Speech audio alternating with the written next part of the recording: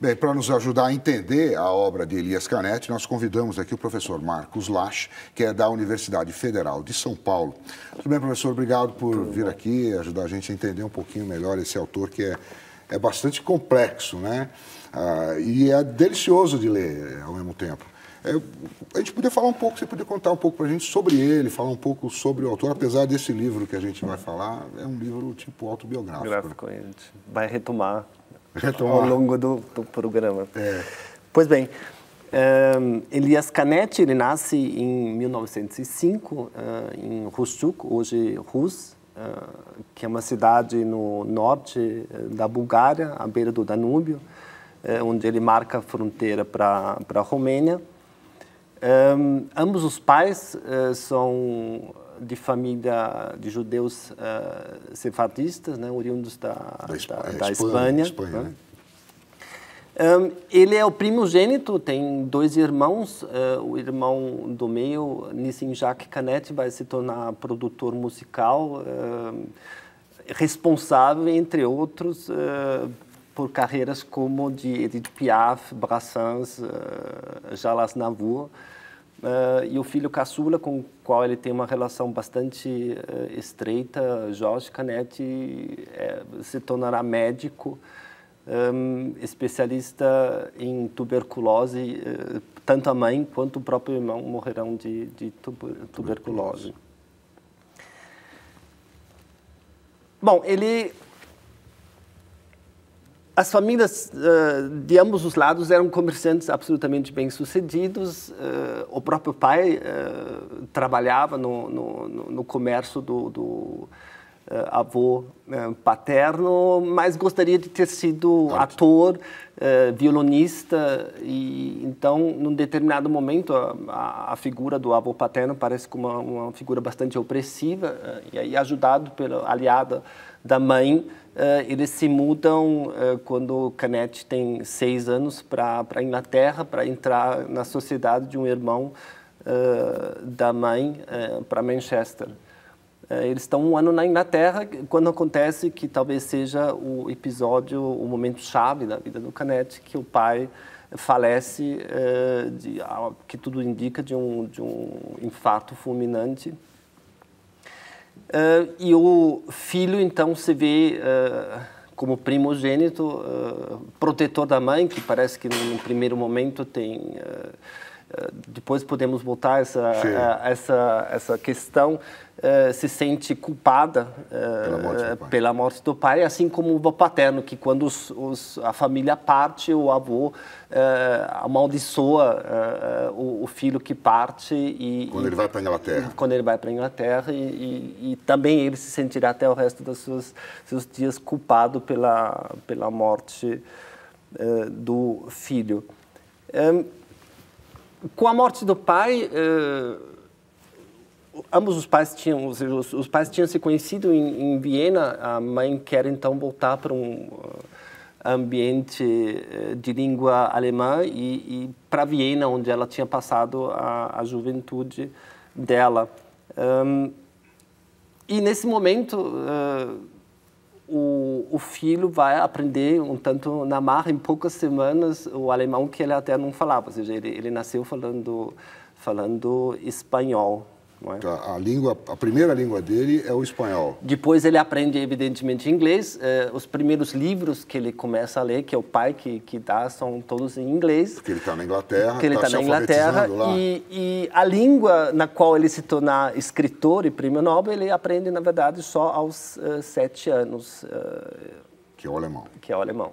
Aprende com a mãe nesse jeito Isso. que você falou aqui, que ele narra aqui, inclusive, no, no livro. Né? É que tem, tem toda a história das leituras conjuntas, dos dramas. Uh, também isso isso tem uma, uma, uma questão bastante uh, central na, na, na, substituição do pai, porque digamos essa, o alemão Uh, era a, a língua de amor dos pais. Uh, a, tanto a mãe quanto o pai queriam se tornar uh, atores, né? E então eles era a língua secreta dos pais. inclusive tem um episódio no livro em que ele fala que quando quando ainda em Huschuk, ele se sentia absolutamente excluído quando os pais falavam alemão e, e sozinho no quarto tentava imitar um pouco os sons para e, e essa língua então ele aprende aos sete anos. Quer dizer, ele tinha uma fascinação com a língua alemã desde pequeno, porque Sim. era a língua secreta dos, dos, pais. pais. Ele não sabia o que eles estavam falando e queria aprender, né? Interessante. Um, bom, por uma série de questões, pelas vicissitudes da, da, da Primeira Guerra Mundial, uh, doenças da mãe, uh, eles deixam uh, Viena e vão para Zurique. E primeiro toda a família junto, depois uh, que talvez tenha sido o período mais feliz da vida deles, os últimos dois anos uh, em Zurique, quando ele mora num pensionato uh, só de meninas e ele, ou seja, inclusive as, as quatro irmãs que cuidam desse, os que tomam conta desse pensionato são mulheres, ele é o único homem no meio de, de, uma grande quantidade de, de, mulher. de mulheres e, e, na verdade esse é o momento que termina esse primeiro eh, com o qual termina esse primeiro eh, volume da, da trilogia autobiográfica que, que, ele intitula justamente de da expulsão do, do, do paraíso. É quando a mãe Uh, chega de, de, um de seus uh, de uma de suas estadias no sanatório e acha que o filho está lendo muito não tem nenhum senso prático na, na vida e, e ela meio à força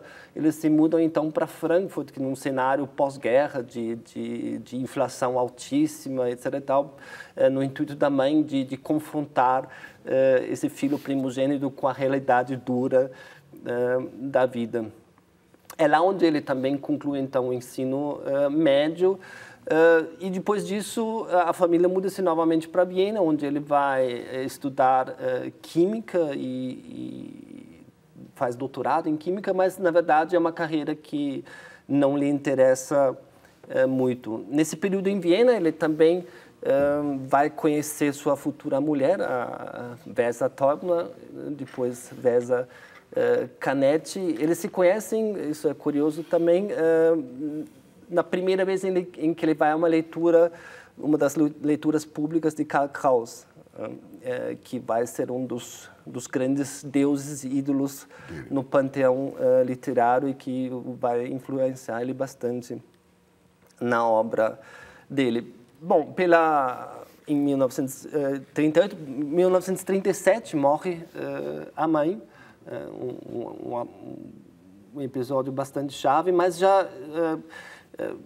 a partir do, da, da, mudança forçada para Frankfurt, depois com, com o conhecimento da, da, da mulher, é, começa um distanciamento cada vez eh, maior entre, entre o filho, entre, entre Canete e, e, a mãe. E que, na verdade, eles passam bastante tempo sem se ver e, e só no leito da morte, então tem uma, uma última reaproximação. Em 38, pela anexação da Áustria uh, pelos nazistas, eles, ele é forçado a emigrar com sua mulher para a Inglaterra, onde ele vai passar bastante tempo. É um, é um período, uh, por um lado, muito difícil, de, de, de muita necessidade, inclusive uh, financeira e tal, mas também um período em que ele vai escrever o que para ele talvez tenha sido sua sua obra amor, que é Massa e Poder, ajudado pela pela pela mulher. Eh, pela mulher. Um, o, o, o, romance de, de que é, foi publicado em 1935, Alto da Fé, uh, na verdade, num primeiro momento não não tem tanta repercussão. Né? E a partir só a partir de, depois da guerra, então depois de uma, de uma primeira edição em alemão, depois com a tradução para o inglês que ele acompanha, um, o romance também se torna uh, mais conhecido. Ele tem, ele escreve, Massa e Poder, vamos dizer assim, que é, é uma espécie de ensaio, são ensaio, é um ensaio, né? É, sobre um tema que, que, o aflige e tal. Alto de Fé é o, é o único romance é, que ele produziu, tá certo? Sim. É, e aí, a e essas três, esses três, essa trilogia autobiográfica Biográfica. também, e produziu mais o quê? Ele produziu Tem, relatos eh, de viagem. Relatos de viagens, As Mostras de Marrakech, É. que está traduzido Esse para o né? português também. Tem, tem vários livros eh, de ensaio, um que se chama Na Província do Homem, eh, outro que é A Consciência das Palavras, também traduzido para o português. Tem três dramas, eh, uma série de apontamentos, ou seja, eh, a- é um, um autor bastantíssimo eh, versátil. Versátil, né? E- Escreve várias, várias, não é um, Vários não é um gêneros. romancista, não é um ensaísta, não é um dramaturgo, mas ele faz um pouco de tudo isso, é isso, né? E, e aí por isso que ele ganha, acaba ganhando o prêmio Nobel. Mas você estava contando a história dele, eu te interrompi, né? Você, eu interrompi justo na parte do, do nazismo, né? No momento do nazismo. Junto, eh, então eles estão na Inglaterra e ehm, é um período, por um lado, difícil, que eu tinha dito, mas, por outro lado, eh, nesse sentido fértil, porque ele consegue eh, eh, finalmente colocar no papel o que, para ele, talvez tinha sido ele- o que ele encarava como sua tarefa, sua obra eh, eh, principal, que é massa E poder. eh, e poder. E aí, no, no final da, da década de 60, eh, a, a, a sua mulher, Vesa, morre em 63. Ele conhece sua segunda mulher, que se chama Rea Buchó, ehm, que mora em Zurique, e o- o que faz com que no final da vida, e justamente nesse momento em que ele, que ele escreve a trilogia eh, autobiográfica, volte a Zurique, que é uma espécie, ou seja, aquele, aquele sentimento da expulsão do paraíso eh, eh, fica, ou seja, a Zurique para ele é, um, é é uma espécie de porto seguro em que ele vai passar, então, tá um período bastante mais tranquilo, embora sua mulher, essa segunda mulher, que é bastante mais jovem do que ele, morre logo em seguida também em 88 de câncer. Seu, seu irmão, que eu tinha já falado, Jorge, também em 71, ou seja, As isso... pessoas vão indo embora da vida dele. Sim, é, ou seja, começa a vida, começa com, com, com esse, esse ah, evento tão marcante que é a morte é do pai, eh, aos sete anos, e depois ela é marcada por mortes eh, sucessivas. Daí, eh, ou seja, eh, daí dá para entender também um pouco através da autobiografia eh, essa, digamos, essa obsessão eh, pela temática e a, e a, e a- concepção dele de uma das tarefas principais do, do ele sempre falava em poeta eh, no, no seu se- sentido, sentido- abrangente eh, não de escritor mas então a, a tarefa do poeta seria de, de escrever contra a, morte não é? E tinha, é bom, enfim, então. É, é, vale a pena lembrar também que ele é contemporâneo de quatro guerras que ele na Europa que lhe dizem absolutamente eh, respeito, que é a Guerra dos Balcãs, eh, a Guerra Civil Espanhola e a Primeira e Segunda eh, Guerra Mundial. E as três primeiras que você falou na infância, né? Que é a Guerra dos Balcãs, onde ele nasceu, a região onde ele nasceu. Depois a Guerra Civil Espanhola, porque envolve os parentes dele. A ascendência. A ascendência dele. E a Primeira e Segunda Guerra, ele já... A Primeira Guerra está relatado nesse livro aqui, Isso. né?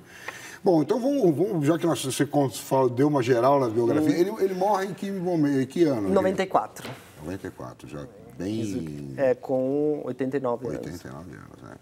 É, bom, então vamos entrar aqui na, na Língua Absolvida, que é uma, a primeira parte da vida dele, né? Quer dizer, Sim. Ele, ele escreve os três na década de 70, as três são, é uma trilogia autobiográfica. Isso. É, eu acho que a escritura do primeiro volume já começa no final da década de, eh, de 60, hum, mas é publicada em eh, 77. 77, né? sim. 77.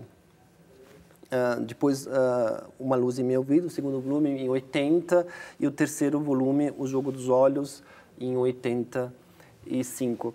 Talvez para começar a falar dessa trilogia, é importante que a gente fale eh, um pouco dos títulos, ou ou melhor, da, da tradução eh, dos títulos. Eh, porque, na verdade, não há uma língua propriamente absorvida, mas seria mais uma. Talvez se pudesse. Ler um trechinho? Ler um trechinho, logo Só no... para compreender, né? vamos fazer isso. Vamos, dar uma, vamos fazer uma leitura desse primeiro parágrafo aqui. Isso, que né? fica que bastante é, claro. É bastante claro o que, que você está falando. Tá. Então, diz assim, né? Minhas primeiras recordações. Né? É, minhas primeiras recordações estão imersas no vermelho. Saio por uma porta nos braços de uma menina, o chão à minha frente é vermelho, à minha esquerda desce uma escada igualmente vermelha. À nossa frente, à mesma altura, abre-se uma porta e aparece um homem sorridente que, alegre, vem na minha direção. Ele se aproxima bem, para e me diz: Mostre a língua. Mostro a língua e ele leva a mão ao bolso, tira um canivete, abre-o, põe a lâmina bem perto da minha língua e ele diz: Agora lhe cortaremos a língua.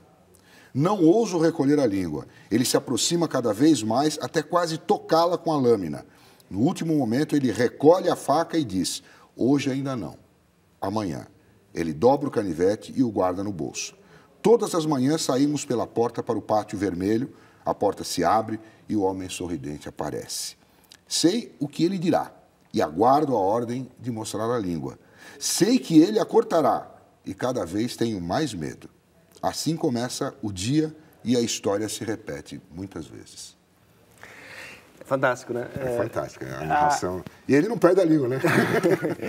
é justamente porque, ou seja, não, não, há, não há uma acusação e uma absolvição. É, há uma ameaça e uma salvação. Isso é muito importante é, porque, é, digamos, nessa relação do, da atividade com a passividade, é, importante pensar o inverso também, ou seja, é a língua não só que é salva, mas que, por outro lado, é, se torna salvadora, salvífica depois. Isso que nós estávamos falando antes, uhum. é, ou seja, é, da palavra, da literatura, da palavra escrita empenhada contra a morte.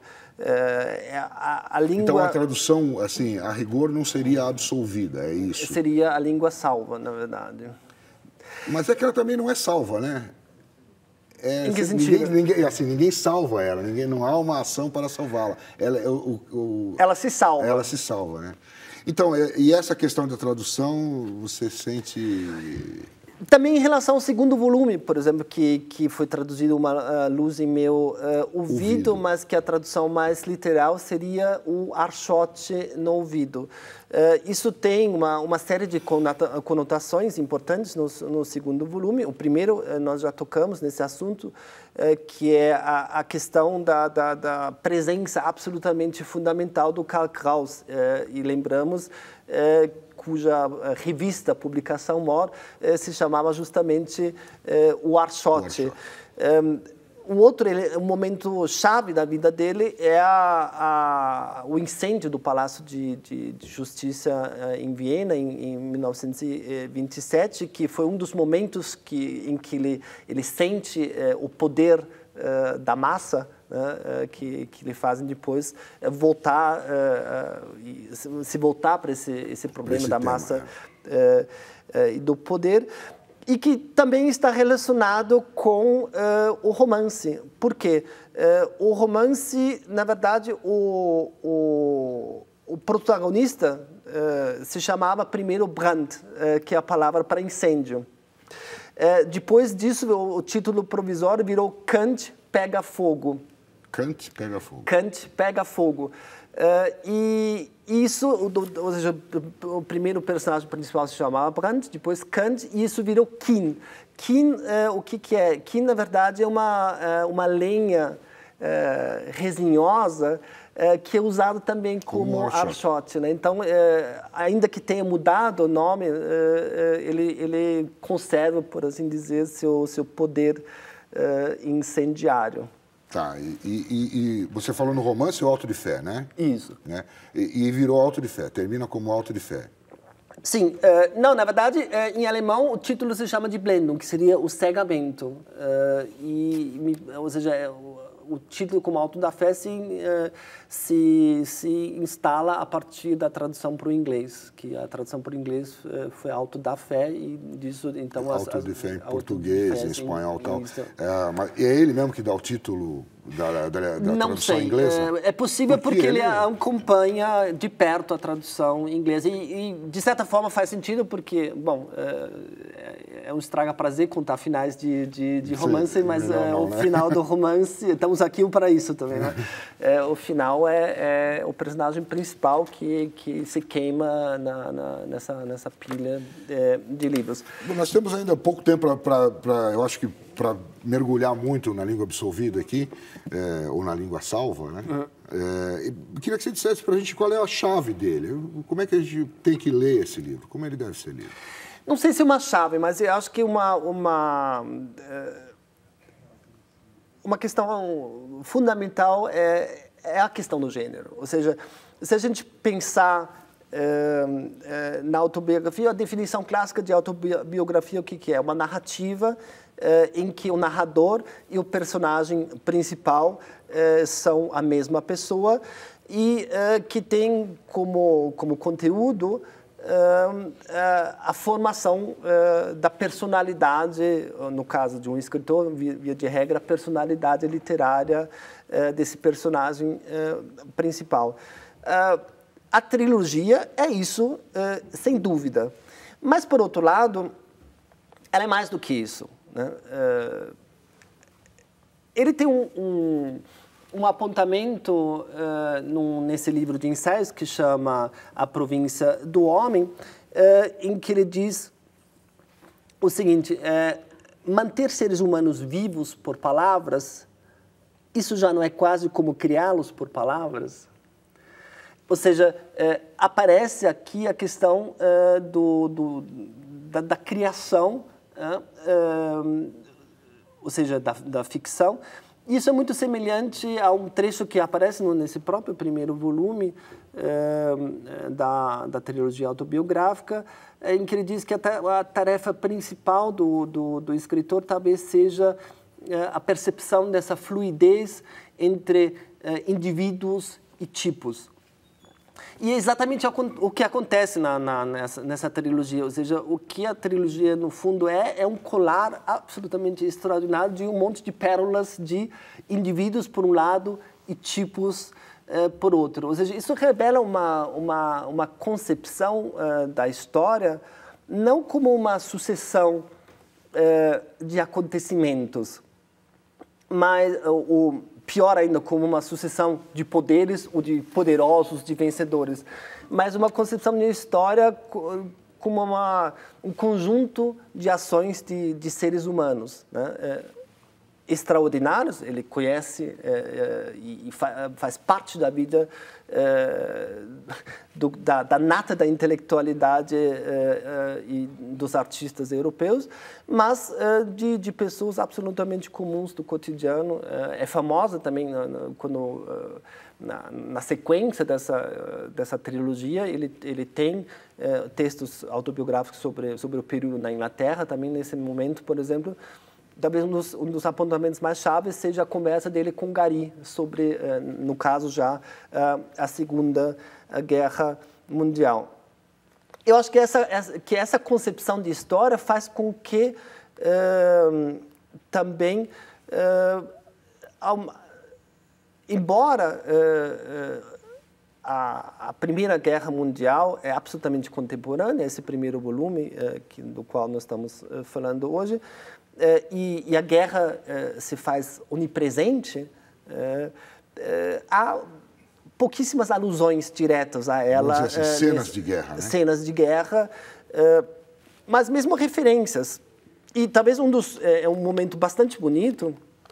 Não sei se dá tempo ainda de. de... É, podemos, é, nós estamos, estamos lá no finalzinho, mas acho que dá tempo, sim. Um parágrafo dá para ler. Leia lá. E um desses momentos é quando ele diz o seguinte: eu nunca tinha visto tantos deles apinhados uh, em vagões. Ele está falando uma cena em que uh, ele está voltando com um amigo uh, por um bairro, tem um trem que está parado com fugitivos da Galícia. Fugindo da guerra. Isso. Era um quadro horrível, porque o trem estava parado. Enquanto o contemplávamos, ele se moveu. Como gado, disse eu apertados uns aos outros, aliás. Alguns dos vagões são para gado. Acontece que são demais desse chibio, temperando sua repugnância em atenção a mim. Jamais teria pronunciado uma palavra que pudesse me ofender. Fiquei parado, perplexo. E ele, enquanto esteve parado comigo, percebeu meu horror. Ninguém assinava para nós, ninguém nos dirigia uma palavra. Sabiam que o que má vontade eram recebidos e não esperavam uma palavra de saudação. Eram todos homens, entre eles muitos velhos com barbas. Você sabe, disse Schiebel, nossos soldados são mandados para a frente de combate em vagões como este. Guerra, guerra, diz meu pai. Foi a única frase de seu pai que ele repetiu na minha frente. E eu sabia que ele o fazia para me livrar do meu espanto. O pai era general desse menino. Mas não adiantou, eu continuava de olhos pregados e nada acontecia. Eu queria que o trem se pusesse em marcha. O mais terrível era que o trem continuava parado sobre a ponte. Você não vem? disse Chibro, me puxando pela manga. Você não quer mais jogar? Estávamos a caminho de sua casa para novamente brincar com os soldados. Acabei indo, mas me sentia mal e, e esta sensação se fez mais forte quando sua mãe nos serviu a merenda. Por que demoraram tanto? perguntou ela. Chibla apontou para mim e disse: Vimos um trem de refugiados da Galícia. Estava parado sobre a ponte de São Francisco. Então foi isso, disse ela, e nos serviu a merenda. Mas com certeza vocês agora estão com fome. Por sorte ela saiu, pois eu não provei nada. E Chibla, compreensivo como era, tampouco tinha fome. Deixou os soldados em seu canto e não jogamos. Quando eu saí, apertou minha mão fortemente e disse: Amanhã, quando você vier, lhe mostrarei algo recebi uma artilharia nova. Bárbara, né? E essa é uma das raras, dos raros momentos que ele, que a guerra chega até ele. Ele Sim, desenvolveu um... uma questão é, contra a morte a partir da morte do pai, né? Então essa luta da morte Sim, dele contra a morte. Ao, ao mesmo tempo tem de novo, tem já o, o, a questão da massa, ou seja, é, a quantidade de, de fugitivos pessoas. confinados ali nos vagões. Como aliás no outro momento também, é, o segundo momento em que ele menciona a guerra é o momento que eles já estão na, na, na Suíça que ele passeia, está com sua mãe na rua e de repente eles se veem no meio de dois grupos de, de, de soldados convalescentes, por um lado alemães, por outro lado franceses. O menino fica apreensivo se vocês vão se pegar ali, se vão se pegar ali, se haveria confronto, mas não. Na verdade há, há palavras, acenos gentis, gentis entre entre os dois grupos, mas o, o, o filho e a mãe ficam no meio, ou seja, dessa dessa, dessa, multidão. Uh, e esse é um dos, dos, dos outros momentos chaves uh, em relação uh, é, do livro e, e, com já projeções para o pensamento dele do, da, de massa e poder. Professor, nosso tempo está terminando, está chegando no final, mas assim foi bárbaro. Quer dizer, são dois momentos realmente muito emocionantes do livro, fora o momento, obviamente, que diz respeito à morte do pai, aquela aquela comoção que tem no início quando o pai morre. E, mas você nos explicou aqui, então, que essa questão da morte, da massa e do poder vão acompanhar o Elias Caneta em toda essa obra, que é muito variada, né? E você traduziu um livro dele. O que é esse livro? Festa sobre as Bombas. Os anos ingleses, é isso que você tinha Sim. dito? Sim. É justamente sobre. É, são, são textos uh, também uh, autobiográficos sobre o período na Inglaterra. O que acontece com esse livro uh, é particular, porque ele, na verdade, ele permanece no espólio, é uma publicação póstuma, não autorizada pelo Canet, e aparece aqui no, no, no, no, no primeiro volume a, a, a questão da, do aprendizagem da, da, da, estenografia. E uma curiosidade, ele menciona isso, que, na verdade, ele primeiro tem a versão, depois aprende muito bem a estenografia, e todos os uh, livros, inclusive Massa de Poder, romance, ele escreve primeiro uh, uh, em estenografia e depois traduz para uma linguagem, uma escrita corrente. Ou seja, esse livro, ele foi, eh, no spoiler estava apenas em apontamentos eh, estenográficos. Ou seja, a tradução que eu fiz, na verdade, é uma tradução da, da tradução. tradução. Eh, que é complicado em alguns trechos, porque ou seja, o texto tampouco está acabado. Então, tem trechos que simplesmente estão mal no original. E, e se você traduz um, um prêmio Nobel, você sabe que isso não vai cair na, nas costas do prêmio Nobel, mas, mas todo mundo vai... Tá ok, professor, muito obrigado. Parabéns aqui pelo trabalho. E a gente volta a se falar numa próxima oportunidade. Obrigado pela sua presença Com aqui. Com certeza. Tchau, tchau.